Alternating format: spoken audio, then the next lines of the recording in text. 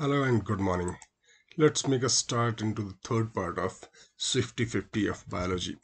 Point is uh, देखिए DNA और RNA में नाइट्रोजनस बेसिस होते हैं चार। जिनमें से तीन दे आर कॉमन चौथा जो अलग होता है दैट इज़ डीएनए के केस में थायमिन होगा और आरएनए के केस में यूरेसिल होगा। इसको आप याद रखने की कोशिश करें। और आरएनए भी तीन तरीके के होते हैं mRNA rRNA and tRNA RTM इसको भी आप याद रख सकते हैं। आरटीएम या एमटीआर और आरएनए का main function is protein synthesis वो सेल के अंदर करते हैं।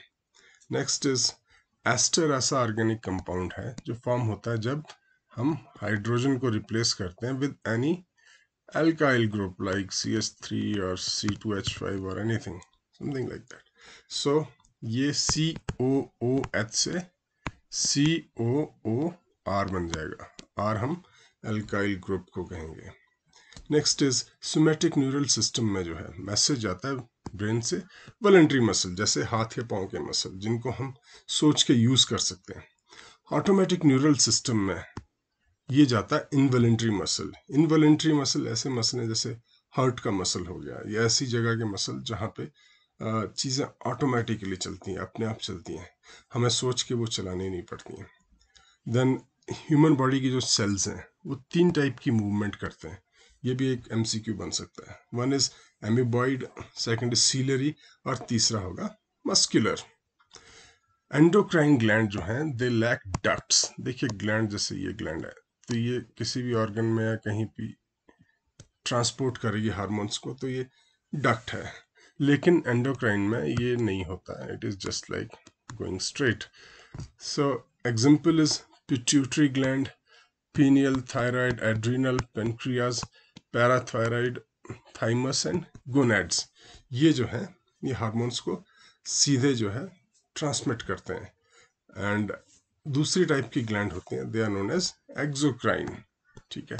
तो ये बहुत अच्छा क्वेश्चन बन सकता है कि कौन सी ऐसी ग्लैंड है which is acting both as exocrine and endocrine so that is pancreas उसको हम कंपोजिट ग्लैंड भी कह सकते हैं। एम्फाइसीमा एक तरीके का डिसऑर्डर है, जिसमें हमारे जो लंग्स के अंदर एल्व्यूलाई हैं, उनकी वॉल्स डैमेज हो जाती हैं काफ़ी हद तक। सो अगर डैमेज होगी तो रेस्पिरेशन का सरफेस एरिया कम हो गया और सांस लेने में मेजर परेशानी आ सकती है। देखिए मेटाबॉलिक पाथवेज नॉर्मली दो टाइप के होते हैं एनाबॉलिक और कैटाबॉलिक ये आपको पता होगा। इसके एग्जांपल ये भी हो सकते हैं और बेहतर एग्जांपल इज़ कि ग्लूकोज का फॉर्मेशन है ना? तो सिंपल मॉलिक्यूल्स से मिलके कॉम्प्लेक्स मॉलिक्यूल बनना यानी बिल्ड अप करना पॉजिटिव डेवलपमेंट लेकिन दूसरे केस में जैसे ग्लूकोज लैक्टिक एसिड बनता है हमारे मसल स्केलेटल मसल में तो वो ब्रेक डाउन हो गया। तो यानी कॉम्प्लिकेटेड जो है वो सिंपल मॉलिक्यूल्स में परिवर्तित हो गया। सो so, जैसे कैट के पास चूहा आएगा तो चूहे को वो ब्रेक डाउन कर देगी। तो कैटाबॉलिक को आप ऐसे भी याद रख सकते हैं। There are four stages of mitosis prophase metaphase anaphase and telophase इसको आप थोड़ा सा रिविजन के लिए पढ़ लें प्लीज़ अगर आपको इसके बारे में मालूम नहीं है दिस इज़ टीलोफेज तो आप इसको स्किप भी कर सकते हैं no problem next is cytokinesis में साइटोप्लाज्मिक डिवीज़न होता है। पर्नेट स्केयर एक तरीके का टेबल या मैट्रिक्स है, जिसमें हम मोनोहाइब्रिड क्रॉस जो है, उनको मैनिफेस्ट करते हैं, उनको दिखाते हैं। देखिए ह्यूमन बींग्स में कितने क्रोमोजोम पेयर रहते हैं?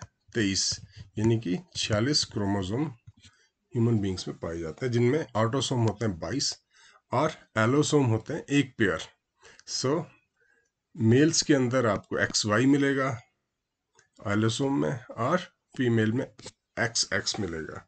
इसलिए हम कहते हैं डिपेंड्स की प्रोजेनी मेल होगी या female that depends on the male not on female next is genetic disorder को हम दो कैटेगरीज में डाल सकते हैं।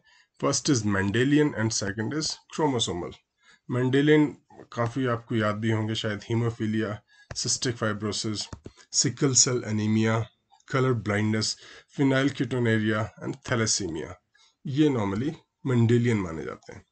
लेकिन क्रोमोजोमल देखें तो डाउन सिंड्रोम इनके ऊपर क्वेश्चन आ जाता है। अगर आपको नहीं समझ आ रहा है तो इतना समझ लीजिए कि ट्वेंटी फ़र्स्ट जो पेयर है, उसमें ट्राइसोमी हो जाती है। नॉर्मली पेयर में दो होने चाहिए, लेकिन यहाँ पे कितने आ गए? तीन। So that is a disorder and next is Turner syndrome girls के अंदर एक एक्स क्रोमोजोम मिसिंग होगा। देखिए गर्ल्स में दो होंगे। दो की जगह अगर एक ही पाया जाएगा तो दैट डिसऑर्डर इज़ टर्नर और लाइन फ़िल्टर सिंड्रोम बॉयज़ में एक एक्स एक्स्ट्रा होगा तो ये बनेगा X X Y this is a chromosomal disorder allergy release होती है। एलर्जी जब आपको होती है तो हिस्टामाइन रिलीज़ होता है और सेरोटोनिन और ये कहाँ से निकलते हैं? Mast cell so mast is important and histamine and serotonin is important AIDS पहली बार रिपोर्ट किया गया था 81 में और इट इज़ अ रेट्रोवायरस ये हमें पता होना चाहिए। और एलिसा टेस्ट इसके लिए रहता है डायग्नोस्टिक जो हम पहले भी कर चुके हैं। ट्यूमर दो टाइप के रहते हैं बेनाइन और मैलिग्नेंट देखिए इन शब्दों का मतलब भी यही है। बेनाइन का मतलब होता है काइंड मैलिग्नेंट का मतलब होता है ख़राब। सो so, मैलिग्नेंट जो है वो दूसरे पार्ट्स में बॉडी पार्ट्स में स्प्रेड करता है। बेनाइन आपको ज़्यादा दिक्कत नहीं दे सकता। You can live with benign cancer या ट्यूमर हेरोइन जो है वो केमिकली डाई एसेटाइल मॉर्फिन कही जाती है। एंड कोकेन जो है वो कोका प्लांट से डेवलप की जाती है, जिसको हम अरिथ्रोजाइलम कोका भी कहते हैं साइंटिफिकली रॉबर्ट कॉच ने डिस्कवर किया था कि बैक्टीरियम जो है वो एंथ्रेक्स कॉज करता है 1876 लॉन्ग टाइम बैक और उन्होंने जर्म थ्योरी ऑफ़ डिज़ीज़ को भी अपने इन फाइंडिंग से सपोर्ट किया। देखिए, ग्रेगोर मेंडल जो है, उनको founder of modern science of genetics कहा जाता है है ना? इनके बारे में आपको पता होगा कि he was a mathematician and he was also religious figure in the church next is RBC का average life span is 120 days उसके बाद में वो डिस्ट्रॉय हो जाते हैं स्प्लीन के अंदर। तभी हम स्प्लीन को ग्रेवयार्ड ऑफ़ आरबीसी भी कहते हैं। So this is again a important question Thomas Hunt Morgan को नोबेल प्राइज मिला था 1933 हालाँकि इन्होंने काम किया था 1910 के आसपास के दशक में, और उन्होंने क्या डिस्कवरी की थी कि क्रोमोजोम जो है वो हेरिडिटी में इंपॉर्टेंट पार्ट प्ले करते हैं, और उनके एक्सपेरिमेंट थे फ्रूट फ्लाई के ऊपर, जिसको हम साइंटिफिकली ड्रोसोफिला मलैनोगेस्टर भी कहते हैं। नेक्स्ट इज़ मालपिजन ट्यूब्यूल्स जो हैं वो एक्सक्रीटरी स्ट्रक्चर होते हैं इंसेक्ट्स में खासकर good example is cockroach process of release of urine is known as micturition next is carrot क्या है कैरेट जो है वो हम खाते हैं that is a modified root और coconut is a modified seed इस तरीके के क्वेश्चन आ जाते हैं चार्ल्स डार्विन के बारे में आप जानते हैं कि वो गैलापैगोस आइलैंड गए थे लैटिन अमेरिका के पैरेलल और इनके शिप का नाम था एच एम एस बीगल 1831 में इन्होंने ट्रेवल किया था। एच एम एस का मतलब होता है हिज और हर मेजेस्टी शिप उस समय। और उन्होंने पहली बार एवोल्यूशन की बात की थी प्रॉपरली और उनकी किताब पब्लिश हुई थी most famous book in evolution that is the origin of species evolution की बात करें तो पहले सिंगल सेलुलर चीज़ें डेवलप हुई ऑर्गेनिज्म डेवलप हुए, उनसे बने मल्टी सेल उसके बाद आए फ़िश एम्फीबियन रेप्टाइल्स बर्ड्स और उसके बाद डेवलप हुए मैमल्स नेक्स्ट ऑर्गेनिज्म की क्लासिफिकेशन विटेकर ने की थी फाइव किंगडम जो कि हम आज भी यूज़ करते हैं like Monera Protista fungi Plantae and Animalia साथ में एक और इंपॉर्टेंट पॉइंट इज़ लिनस ने क्लासिफाई किया था ऑर्गेनिज्म को टू किंगडम में दैट इज़ एंड एनिमिलिया या एनिमेलिया और लिनस का एक और इंपॉर्टेंट पॉइंट है कि उन्होंने बाइनोमियल नॉमन दिया था। जैसे एप्पल का Malus domestica. So malus is generic name, domestica is specific या स्पीशीज का नाम। ह्यूमन बींग्स में सबसे छोटी हड्डी जो है दैट इज़ स्टेपीज देखिए ये कान की हड्डी है और कान की तीन हड्डियाँ मैलस इनकस एंड स्टेपीज और इंसिडेंटली ये नेचुरली सबसे छोटी हड्डी के साथ होगा सबसे छोटा मसल, जिसका नाम है स्टेपिडियस। स्पेलिंग वही रहेगी डी आई यू एस हमें ऐड करना है।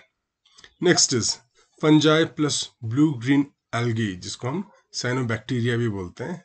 उनके एसोसिएशन से बनता है लाइकन्स और लाइकन जो है वो पॉल्यूशन को इंडिकेट करने का करने का एक बहुत अच्छा स्रोत भी है। जब दो न्यूक्लियाई फ्यूज करते हैं, मिल जाते हैं तो उसको कैरियोगैमी कहते हैं। कैरियो मतलब न्यूक्लियस गैमी मतलब जुड़ जाना गैमिट बन जाना।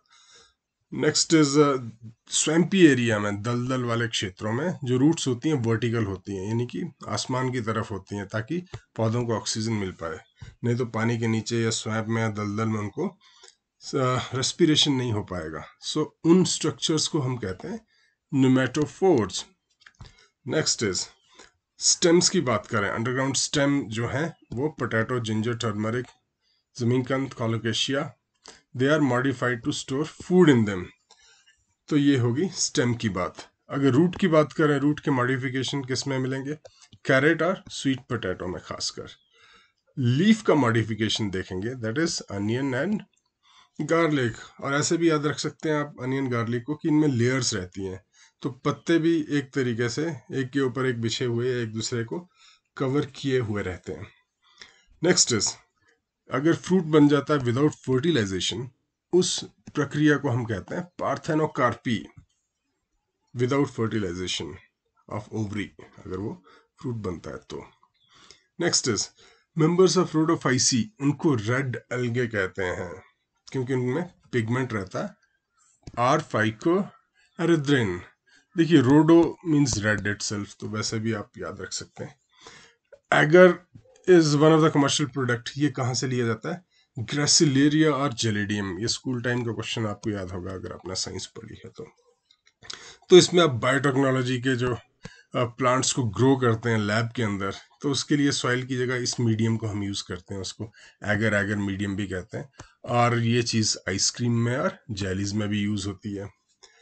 Next is very important Chlorella एक यूनिसेलुलर एल्गा है which is rich in protein इसलिए स्पेस के ट्रेवलर इसको लेके जाते हैं, ये उगता रहता है, उसको खाते रहते हैं so that is pretty fresh bryophytes को एम्फीबियन कहते हैं प्लांट किंगडम का बिकॉज़ रहते तो ज़मीन पे हैं बट ये डिपेंडेंट है पानी के ऊपर for sexual reproduction male sex organ of flower is stamen और फीमेल के केस में उसको पिस्टल या कार्पल भी कहा जाता है. All right next is plant tissues को हम मेरिस्टमेटिक या परमानेंट इन दो कैटेगरीज में क्लासिफाई कर सकते हैं। देखिए जो एक्वाटिक प्लांट हैं, जो पानी में लगते हैं, उनमें एयर कैविटीज रहती हैं जो कि पैरेंट कायमा के अंदर होती हैं, ताकि उनको एक बायंसी मिल पाए। तो गुब्बारे की तरह फूल जाते हैं, जैसे लाइक वाटर हैसिंथ और समथिंग नेक्स्ट इज़ जाइलम का फ़ंक्शन है, पानी को ट्रांसपोर्ट करना। फ्लोइम का फ़ूड तो एफ़ एफ़ फ्लोइम में एफ़ का प्रोनाउंसिएशन आ रहा है। सो इस तरीके से हम याद रख सकते हैं। सो फ्लोइम किन किन से बनता है? तो companion cell sieve cells phloem fibre and phloem parenchyma next is cold blooded जिनको हम पॉइकिलोथर्म्स भी कहते हैं। They lack capacity to regulate their body temperature तो इनके लिए इंपॉर्टेंट हो जाता है कि इन्वायरमेंट इनके लिए सूटेबल हो। वार्म ब्लडेड यानी कि homoiotherms they are able to maintain their constant body temperature तो वो ऑर्गेनिज्म जो है इन्वायरमेंट के के जैसे भी टेम्परेचर होंगे, उसके अकॉर्डिंग खुद को मॉडिफाई कर सकते हैं। Delivery of any baby is known as parturition and last point is DNA को जैसे हम मैनिपुलेट करते हैं, किसी खास लोकेशन से हमें काटना हो तो उसके लिए रेस्ट्रिक्शन एंजाइम को यूज़ करते हैं। And they are also known as molecular scissors यानी कि मॉलिकुलर कैंचियाँ उनको हम कह सकते हैं।